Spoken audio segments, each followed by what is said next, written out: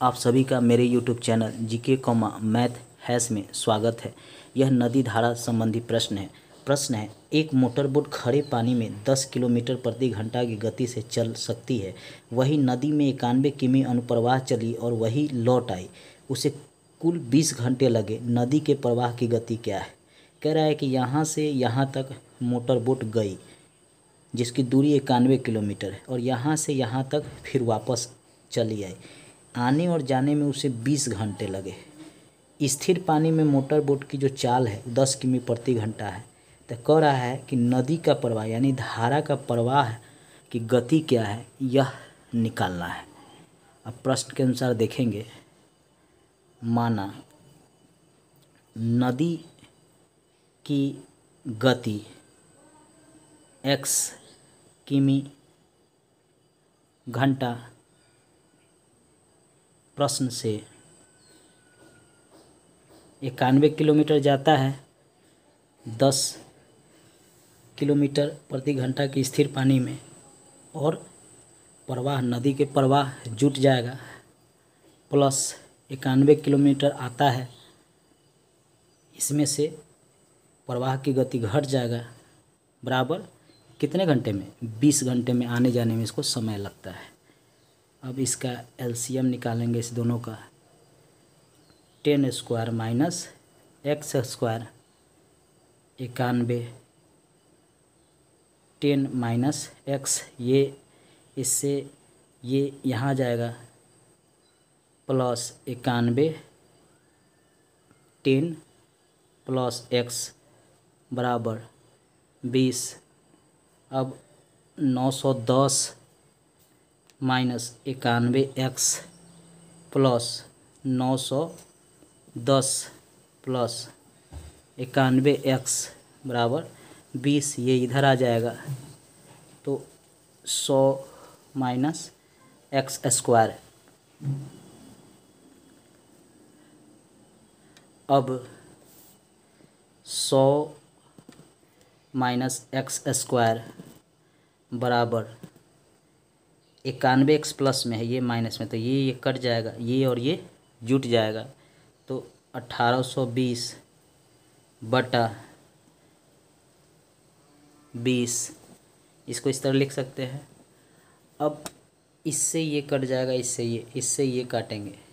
इक्यानवे मरतबे कटेगा, सौ माइनस एक्स स्क्वायर बराबर ninety one minus X square बराबर इक्यानवे माइनस सौ अब माइनस एक्स स्क्वायर बराबर इक्यानवे, सौ में से इक्यानवे घटेगा तो माइनस नौ आएगा। अब माइनस माइनस कट जाएगा एक्स रूट में करेंगे, इधर इसके स्क्वायर हो जाएगा रूट में हो जाएगा एक्स बराबर थ्री गुना थ्री रूट में तो क्या होगा? एक्स बराबर एक निकल जाएगा थ्री तो ये तीन क्या हो गया? यह नदी के प्रवाह की गति निकला। क्या निकला यह?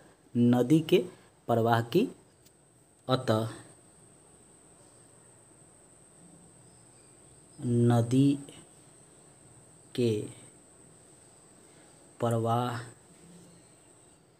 की गति बराबर तीन किमी घंटा।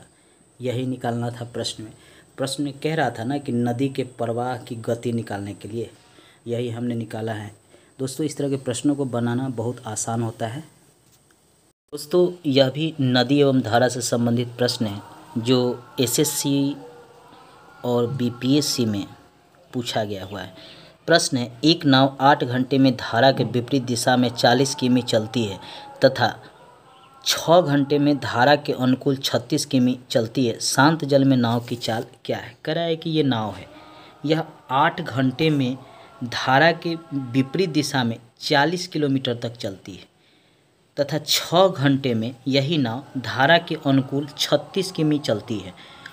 तो शांत जल में नाव की चाल पूछ रहा है। इसके लिए एक सूत्र होता है, शांत जल में नाव की चाल बराबर वन बटा टू ए प्लस बी। अब इसी पे हम इस प्रश्न को हल करेंगे।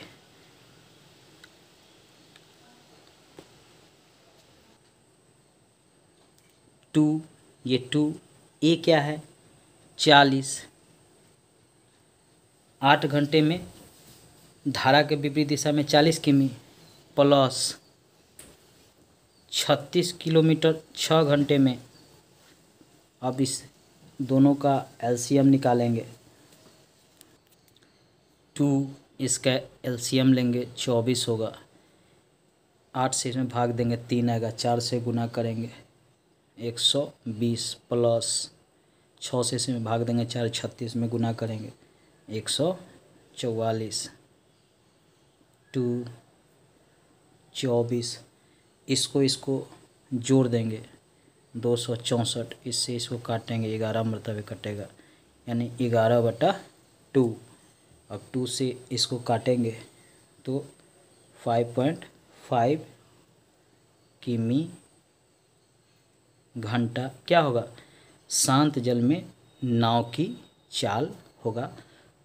पाँच दशमलव पाँच किमी घंटा। यही निकालना था इस प्रश्न में। इस तरह के प्रश्नों को बनाना बहुत आसान होता है। मेरे चैनल पे आइए।